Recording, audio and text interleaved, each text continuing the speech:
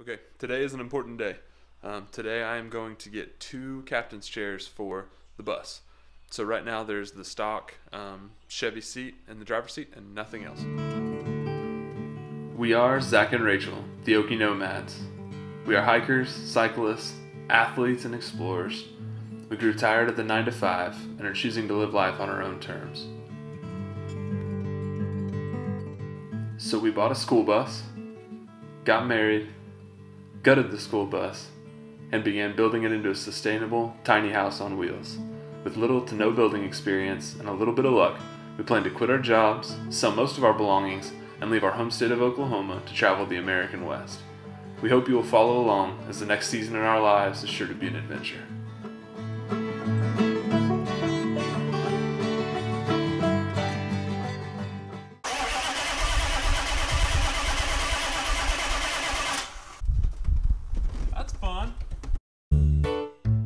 So I loaded up all the tools I might need and headed off to the junkyard.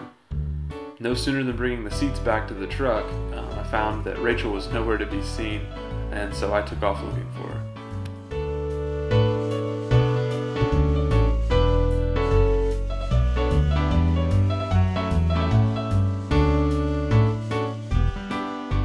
I should have known that if Rachael was tinkering somewhere in the junkyard, it was by the bright white short bus with no engine and a very, very nice first aid kit. We have chairs for the bus. We do have chairs for the bus. How do you feel? Super excited because now I have a seat and I don't have to sit in a lawn chair. Oh, you don't have to tell people you sat in the lawn chair. It's the best part. I've already told them. Okay, good. We celebrated the removal of the chairs from the junkyard with a, a nice bike ride. Um, like most of our adventures, it took a turn.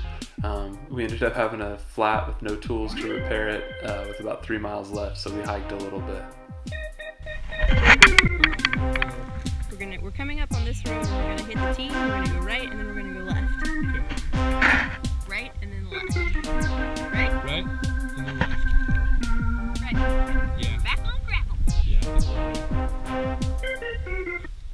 Morning, we got started ripping out the stock seat from the school bus um, to replace it with the other ones. It was really simple. There were just four bolts um, and a random hump thing that you'll see just a little bit later. Um, but this kind of shows you the crud and junk that was that was underneath there from years of, of service. Y'all are not ready for action. I'm smoking these rappers and feeling spectacular.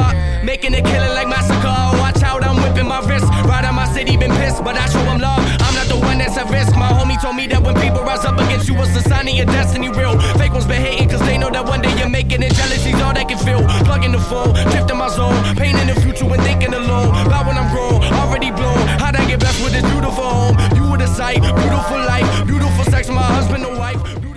After the seat was out, we just took the time to clean up the spot just a little bit and vacuum out all the junk. Alright, so what we've got here is a random hump in the floor underneath the seat.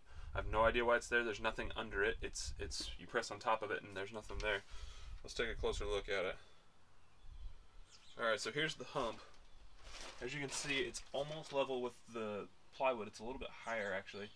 Um, and there's no there's nothing I don't I don't understand. So what I'm gonna do is get a box blade and I'm gonna just cut it out, and then we will go through and put plywood down so it's level, and then um, we'll go from there and get the seat put in. I got tuition, kicking addiction. I used to tell myself that I was nothing. Victim to the poison I was huffing. Now my name come up like no discussion. That's all day. If there are any filmography, cinematography buffs watching the channel, I want to make sure everybody knows this was not a fancy zoom effect um, that I did on purpose. Uh, my lens actually has a little bit of zoom creep, um, and so whenever it's facing down like this, it'll it'll zoom in on its own. It made for an interesting effect, but it was it was definitely not intentional. Stranger, push me down, they don't want me around. I got all the all the bolts um, cut out of the floor. Kind of gave me an idea of what we were going to need as far as plywood and insulation underneath there to make it level. Um, but we also had to go to Lowe's um, to grab a couple of bolts, as the ones that were from the original van didn't quite fit. So we'll uh, we'll go missing here for a second, but don't worry, we'll be back. I just morph into a Power Ranger. I've been watching, see me waiting, hear 'em hating while they talking like I ain't humble. Guys, we're back from Lowe's. We got some bolts for the passenger side. Um, two of them fit, two of them don't. So we're gonna have to remeasure all that, um, go back to Lowe's later. But in the meantime, we're gonna put the plywood down for the driver's side, um, and then we'll measure the bolts for that and make sure we have eight bolts for uh, eight holes and two chairs, and we'll hopefully have two chairs in the bus by the end of the day. Next, I just cut out the uh, the open section from where the the previous chair was.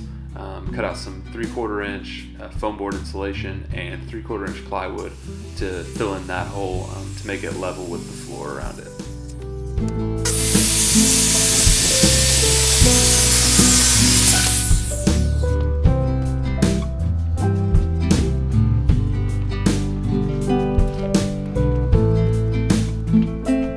Now it was time to get the seats in place make sure we had enough room to swivel around on the passenger side all the way around and at least halfway on the driver's side.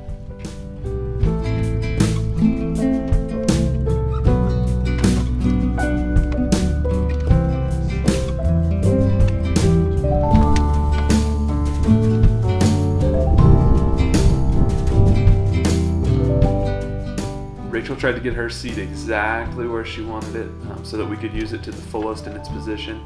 Um, we quickly discovered, however, that the center console was going to get in the way of being able to swivel it around um, and lean it back whenever it's in the side position. So it has to go, and we'll end up building something else to fill in that hole.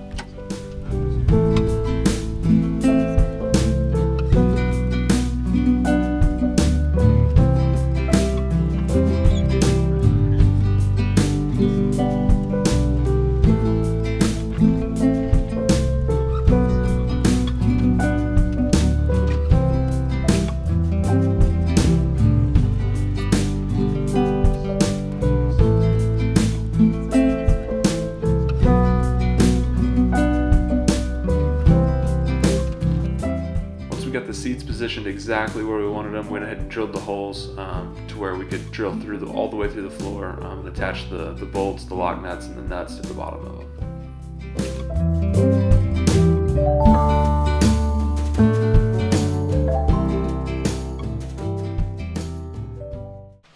All right, guys. So I'm sitting in our newly furnished uh, captain's chairs. Got both the driver and the passenger in with as little heartache as possible. Um, the bolts are the same bolts we used from the from the van we took them from, um, so it should be safe, secure. Everything's tight. Uh, lock washers, all that. Um, now that it's pouring outside, um, I'm switching to some of the interior stuff. So I'm gonna I pulled some wires through for the fridge. We're gonna set the fridge up and permanently affix it to the cabinet below it. Um, and then I'll probably work on a little bit of miscellaneous electrical stuff. Um, yeah. All right. So one of our biggest concerns lately has been safety. Um, what happens in the bus if we have a wreck, if somebody hits us, if something happens, we don't want all of this stuff careening down on top of us, which it probably will anyway. But we're trying to take as many precautions as we can. And one of the ways that we've been doing that is on the refrigerator. Um, we didn't really want to trim it in because we didn't think that would really help. So we have installed, I have installed um, a couple of kind of hook eyes, and on each end, there we go. And the idea is to use ratchet straps to strap those down, um, and that way the fridge at least will have to rip out three quarter inch plywood um, that's been screwed together and glued together before it comes into the back of my head. So um, yeah, the bus is a, an absolute mess right now three or four projects going on at once. Um, but stuff's getting done.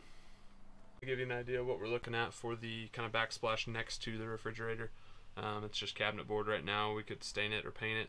Um, but I think a little pallet wood and some white paint will probably do the trick. Alright, so that's kind of the plan. It's the exact same